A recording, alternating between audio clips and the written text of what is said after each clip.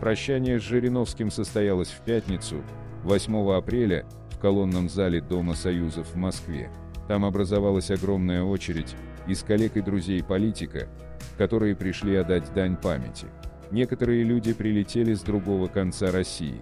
На траурную церемонию прибыл и президент России Владимир Путин. Очень много его поклонников из простого народа не смогли попасть на похороны. Отпевание Жириновского состоялось, ранее в этот день в храме Христа Спасителя, панихиду провел патриарх Московский и всея Руси Кирилл.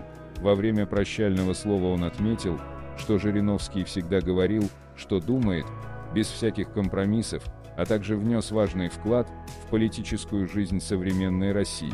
Похороны состоялись на Новодевичьем кладбище. Сегодня россияне до сих пор несут цветы на могилу Владимира Жириновского, кто-то приходит целыми семьями, чтобы почтить его память.